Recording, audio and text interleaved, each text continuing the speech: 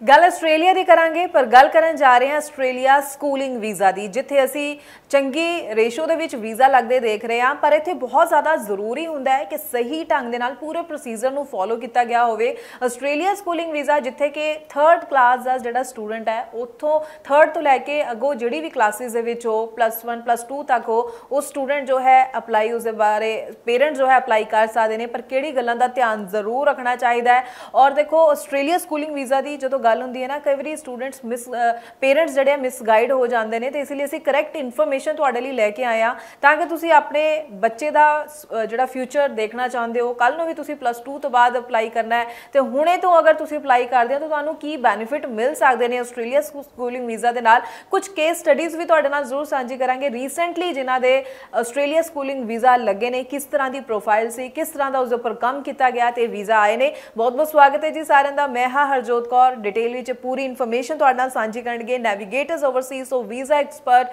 Mrs Veena Goel ma'am ਸਾਡੇ ਨਾਲ ਨੇ। ਬਹੁਤ ਬਹੁਤ ਸਵਾਗਤ ਹੈ ਮੈਮ ਸਤਿ ਸ਼੍ਰੀ ਅਕਾਲ। ਸਤਿ ਸ਼੍ਰੀ ਅਕਾਲ।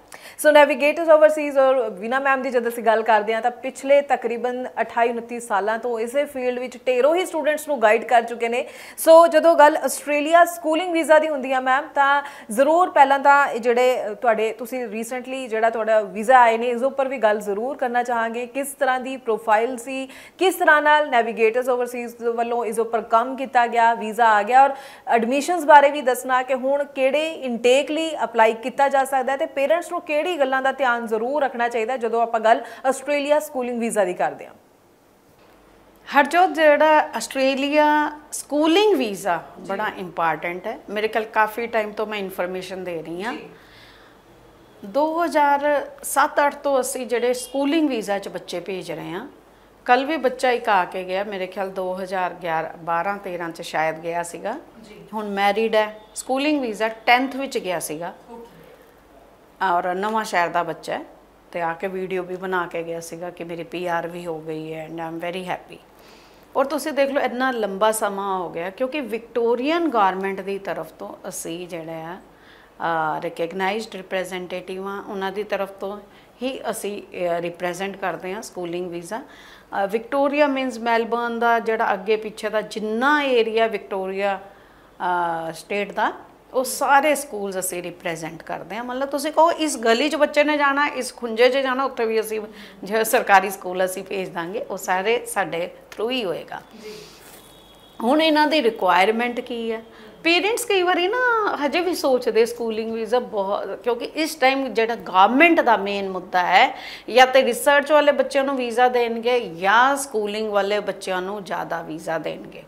ਇਹਨਾਂ ਨੇ ਕੋਟਾ ਫਿਕਸ ਕੀਤਾ ਹੁੰਦਾ, ਇਸ ਟਾਈਮ ਸਕੂਲਿੰਗ ਤੇ ਇਹਨਾਂ ਦਾ ਜ਼ਿਆਦਾ ਫੋਕਸ ਹੈ, ਕਿਉਂਕਿ ਸਕੂਲਿੰਗ ਦਾ ਬ- ਬੱਚਾ ਉੱਥੇ ਜਾ ਕੇ ਉਹਨਾਂ ਦੇ ਮਾਹੌਲ 'ਚ ਢਲ ਜਾਂਦਾ ਹੈ, ਔਰ ਫਿਰ ਉਹਨਾਂ ਦੇ ਵਾਸਤੇ ਉਹ ਬੱਚੇ ਦਾ ਜਿਹੜਾ ਹੈ, ਇੱਕ ਕਿਸਮ ਤੋਂ ਕਹਿ ਲਓ ਕਿ ਉਹਦੀ ਪਰਵਰਿਸ਼ ਆਸਟ੍ਰੇਲੀਅਨ ਐਟਮੋਸਫੇਅਰ 'ਚ ਹੋਈ ਹੈ ਤੇ ਉਹ ਇੱਕ ਬੱਚਾ ਜਿਹੜਾ ਉਹ ਸੀ ਬੱਚਾ ਬਣ ਗਿਆ ਉਹਨਾਂ ਦੇ ਹਿਸਾਬ ਨਾਲ ਬਣ ਗਿਆ ਉਹਨਾਂ ਦੇ ਵਾਸਤੇ ਉਹ ਸ਼ਾਇਦ ਪ੍ਰੋਡਕਟ ਠੀਕ ਹੈ ਹੁਣ ਇਹ ਬੱਚੇ ਨੂੰ ਲੈਣ ਵਾਸਤੇ ਇਹਨਾਂ ਨੂੰ ਚਾਹੀਦਾ ਕਿ ਇਹ 60% ਪਰਸੈਂਟੇਜ ਹਰ ਸਬਜੈਕਟ ਵਿੱਚ ਸਕੂਲ 'ਚ ਜਿਹੜੀ ਕਲਾਸ 'ਚ ਬੱਚਾ ਪਾਸ ਹੋਇਆ ਔਰ ਉਸ ਤੋਂ ਪਿਛਲੀ ਕਲਾਸ 'ਚ 3 ਸਾਲ ਦਾ ਰਿਜ਼ਲਟ ਚਾਹੀਦਾ ਪਰ 2 ਸਾਲਾਂ ਦੀ ਮਾਰਕ ਸ਼ੀਟ ਦਾ 60% ਇਹ 'ਚ ਚਾਹੀਦਾ।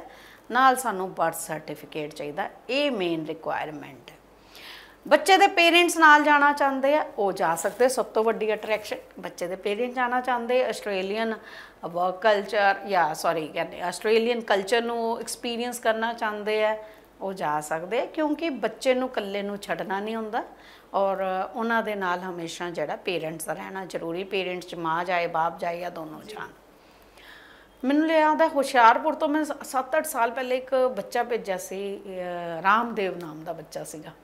ਉਹ ਵੀ ਬੜਾ ਹੋ ਕੇ ਸੈਟਲ ਹੋ ਗਿਆ ਔਰ ਮੇਰੇ ਖਿਆਲ ਇਸ ਇੰਟੇਕ 'ਚ ਤੇ ਇੰਨਾ ਵੀਜ਼ਾ ਹੈ ਡੇਲੀ ਇੱਕ ਵੀਜ਼ਾ ਆਉਂਦਾ ਹੈ ਡੇਲੀ ਇੱਕ ਦੋ ਇੱਕ ਦੋ ਵੀਜ਼ਾ ਆਉਂਦੇ ਹੁਣੇ ਅਸੀਂ ਹਰਿਆਣਾ ਤੋਂ ਕੈਥਲ ਤੋਂ ਕੁਝ ਫਾਈਲਾਂ ਲਗਾਈਆਂ ਸੀਗੀਆਂ ਕੁਝ ਫਾਈਲਾਂ ਚੰਡੀਗੜ੍ਹ ਤੋਂ ਲੱਗੀਆਂ ਸੀਗੀਆਂ ਸਾਡੇ। ਪੰਜਾਬ 'ਚ ਜਲੰਧਰ ਤੋਂ ਬੱਚੇ ਆਏ ਸੀਗੇ, ਹਰ ਜਗ੍ਹਾ ਤੋਂ ਬੱਚਾ ਆਉਂਦਾ ਠੀਕ ਹੈ, ਆਸਟ੍ਰੇਲੀਅਨ ਜਿਹੜਾ ਸਕੂਲਿੰਗ ਵੀਜ਼ਾ ਹੈ, ਇਹਦੇ ਵਾਸਤੇ ਜਿਹੜਾ ਮੈਂ ਤੁਹਾਨੂੰ ਰਿਕੁਆਇਰਮੈਂਟ ਦੱਸ ਹੀ ਦਿੱਤੀ ਹੈ ਕੁਆਲੀਫਿਕੇਸ਼ਨ ਸਾਨੂੰ ਕੋਈ 3rd ਆਨਵਰਡ ਕੋਈ ਵੀ ਬੱਚਾ ਹੋਏ ਪਰ ਸਾਡੀ ਪ੍ਰੈਫਰੈਂਸ ਹੁੰਦੀ ਹੈ 7th 8th 9th 10th 11th ਤੱਕ ਤੁਸੀਂ ਜਾ ਸਕਦੇ ਹੋ। ਜਿਹੜਾ ਵੀਜ਼ਾ ਮਿਲਦਾ ਉਹ ਪਲੱਸ 2 ਤੱਕ ਮਿਲਦਾ ਤੁਹਾਨੂੰ। ਤੁਸੀਂ ਜੇ 11th ਵਿੱਚ ਜਾ ਰਹੇ ਹੋ ਤਾਂ 2 ਸਾਲ ਦਾ ਮਿਲੇਗਾ ਔਰ ਜੇ ਤੁਸੀਂ 7th ਵਿੱਚ ਜਾ ਰਹੇ ਹੋ ਤੇ 5 ਸਾਲ ਦਾ ਮਿਲੇਗਾ। ਔਰ ਨਾਲ ਮਦਰ ਜਾ ਰਹੀ ਹੈ ਸਮਝੋ 5 ਸਾਲ ਦਾ ਹੀ ਵੀਜ਼ਾ ਉਹਨਾਂ ਨੂੰ ਮਿਲੇਗਾ।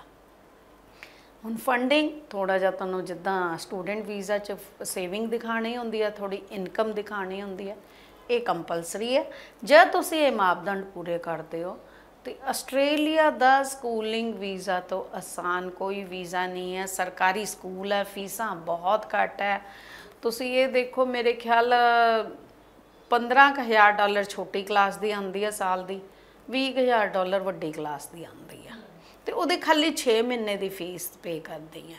ਐਂਡ ਯੂ ਕੈਨ ਆਪਟ ਮਤਲਬ ਤੁਸੀਂ ਇੰਨਾ ਸੌਖਾ ਵੀਜ਼ਾ ਨਹੀਂ ਦੇਖੋਗੇ, ਇੱਥੇ ਵੀ ਅਸੀਂ ਹੋਸਟਲ 'ਚ ਬੱਚਿਆਂ ਨੂੰ ਪੜਾਵਾਂਗੇ ਉਸ ਤੋਂ ਜ਼ਿਆਦਾ ਫੀਸ ਦਵਾਂਗੇ। ਔਰ ਸਬਜੈਕਟ ਬੱਚਾ ਜੋ ਮਰਜ਼ੀ ਰੱਖ ਸਕਦਾ, ਬੱਚੇ ਦੀ ਚੁਆਇਸ ਹੈ, ਉਹਦੇ ਕੋਲ ਸਬਜੈਕਟ ਦੀ ਲਿਸਟ ਆਉਂਦੀ ਹੈ। ਉਹ ਲਿਸਟ ਵਿੱਚੋਂ ਸਟੂਡੈਂਟ ਨੇ ਸਿਲੈਕਟ ਕਰਨੇ ਆ, ਕਿਹੜੇ ਕਿਹੜੇ ਸਬਜੈਕਟ ਰੱਖਣੇ ਆ ਉਹਨੇ। ਔਰ ਜੇ ਪੇਰੈਂਟਸ ਨਹੀਂ ਜਾਣਾ ਚਾਹੁੰਦੇ, ਉਹਦੇ ਰਿਲੇਟਿਵਸ ਆਸਟ੍ਰੇਲੀਆ ਵਿੱਚ ਰਹਿੰਦੇ ਆ, ਉਹ ਆਪਦੀ ਸਪਾਂਸਰਸ਼ਿਪ ਭੇਜ ਸਕਦੇ ਆ, ਕਿਉਂਕਿ ਸਟੂਡੈਂਟ ਅਜੇ 18 ਸਾਲ ਤੋਂ ਘੱਟ ਹੈ ਇਕੱਲਾ ਰਹਿ ਨਹੀਂ ਸਕਦਾ। ਉਹ ਜ਼ਰੂਰੀ ਹੈ ਜਾਂ ਤੇ ਉੱਥੇ ਕੋਈ ਗਾਰਡੀਅਨ ਹੋਏ, ਜਾਂ ਇੱਥੋਂ ਕੋਈ ਗਾਰਡੀਅਨ ਜਾਏ। ਇਹ ਦੋ ਚੀਜ਼ਾਂ ਜ਼ਰੂਰੀ ਬਿਲਕੁਲ ਬਿਲਕੁਲ। ਸੋ ਜਿੰਨੇ ਵੀ ਪੇਰੈਂਟਸ ਇਹ ਵੀਡੀਓ ਦੇਖ ਰਹੇ ਨੇ ਜਾਂ ਅ, ਅੱਗੋਂ ਫਰਦਰ ਇਸ ਉੱਪਰ ਸੋਚ ਰਹੇ ਨੇ ਕਿ ਅਸੀਂ ਅਪਲਾਈ ਕਰੀਏ ਤਾਂ ਜ਼ਰੂਰ ਤੁਸੀਂ ਨੈਵੀਗੇਟਰਸ ਓਵਰਸੀਜ਼ ਦੇ ਨਾਲ ਕੰਟੈਕਟ ਕਰ ਸਕਦੇ ਹੋ ਕਿਉਂਕਿ ਜਿਵੇਂ ਕਿ ਮੈਮ ਨੇ ਦੱਸਿਆ ਹੈ, ਕਿ ਵਿਕਟੋਰੀਅਨ ਗਵਰਨਮੈਂਟ ਤੋਂ ਆਥੋਰਾਈਜ਼ਡ ਕੰਪਨੀ ਹੈ ਤਾਂ ਤੁਸੀਂ ਜ਼ਰੂਰ ਇਹਨਾਂ ਦੇ ਥਰੂ ਜੋ ਹੈ ਆਸਟ੍ਰੇਲੀਆ ਸਕੂਲਿੰਗ ਵੀਜ਼ਾ ਨੂੰ ਲੈ ਕੇ ਪੂਰੀ ਜਾਣਕਾਰੀ ਲੈ ਕੇ ਸਹੀ ਢੰਗ ਨਾਲ ਅਪਲਾਈ ਟਾਈਮਲੀ ਕਰ ਸਕਦੇ ਹੋ ਤਾਂ ਕਿ ਤੁਸੀਂ ਆਪਣੇ ਬੱਚੇ ਦੇ ਫਿਊਚਰ ਨੂੰ ਲੈ ਕੇ ਜੋ ਡ੍ਰੀਮਸ ਦੇਖੇ ਹੋਏ ਨੇ ਉਹਨਾਂ ਨੂੰ ਸਹੀ ਢੰਗ ਦੇ ਨਾਲ ਫੁੱਲਫਿਲ ਕਰ ਸਕੋ। ਕੋਈ ਸਵਾਲ ਹੈ ਕੋਈ ਡਾਊਟ ਹੈ, ਜਿਹੜਾ ਨੰਬਰ ਡਿਸਪਲੇ ਹੈ, ਇਸ ਉੱਪਰ ਤੁਸੀਂ ਕਾਲ ਕਰੋ, ਪੂਰੀ ਜਾਣਕਾਰੀ ਲਓ ਔਰ ਸਹੀ ਢੰਗ ਦੇ ਨਾਲ ਆਪਣੀ ਫਾਈਲ ਦੇ ਉੱਪਰ ਕੰਮ ਕਰੋ। ਮੈਮ ਤੁਹਾਡਾ ਬਹੁਤ ਬਹੁਤ ਥੈਂਕਸ ਹਰ ਵਾਰ ਦੀ ਤਰ੍ਹਾਂ ਅੱਜ ਵੀ ਤੁਸੀਂ ਬਹੁਤ ਚੰਗੇ ਢੰਗ ਨਾਲ ਇੱਕ ਇੱਕ ਪੁਆਇੰਟ ਜੋ ਹੈ ਵੀਡੀਓ ਦੇ ਜ਼ਰੀਏ ਕਲੀਅਰ ਕਰ ਦਿਓ ਡਾਊਟਸ ਨੂੰ ਕਲੀਅਰ ਕਰ ਦਿਓ। ਤੇ ਮੈਂ ਜ਼ਰੂਰ ਕਹਿਣਾ ਚਾਹੂੰਗੀ ਸਟੂਡੈਂਟਸ ਨੂੰ, ਕੋਈ ਤੁਹਾਡਾ ਆਪਣਾ ਹੋਰ ਸਵਾਲ ਹੋਵੇ ਕਮੈਂਟਸ ਦੇ ਜ਼ਰੀਏ ਵੀ ਤੁਸੀਂ ਸਾਡੇ ਨਾਲ ਆਪਣੇ ਸਵਾਲ ਜ਼ਰੂਰ ਸਾਂਝੇ ਕਰ ਸਕਦੇ ਹੋ ਤਾਂ ਕਿ ਅੱਗੋਂ ਵੀ ਅਸੀਂ ਤੁਹਾਡੇ ਉਹਨਾਂ ਸਵਾਲਾਂ ਦੇ ਉੱਪਰ ਵੀਡੀਓ ਬਣਾਈਏ ਤੇ ਬਾਕੀ ਸਟੂਡੈਂਟਸ ਨੂੰ ਵੀ ਇਹਨਾਂ ਟੌਪਿਕਸ ਦੇ ਉੱਪਰ ਅਵੇਅਰ ਕਰ ਸਕੀਏ। ਅੱਗੋਂ ਵੀ ਅਸੀਂ ਹੋਰ ਨਵੇਂ-ਨਵੇਂ ਟੌਪਿਕਸ ਦੇ ਉੱਪਰ ਵੀਡੀਓਜ਼ ਲੈ ਕੇ ਆਉਂਦੇ ਰਵਾਂਗੇ। ਇਸੇ ਦੇ ਨਾਲ ਸਾਨੂੰ ਫਿਲਹਾਲ ਹੀ ਦਿਓ ਜੀ ਇਜਾਜ਼ਤ। Thank you so much thank you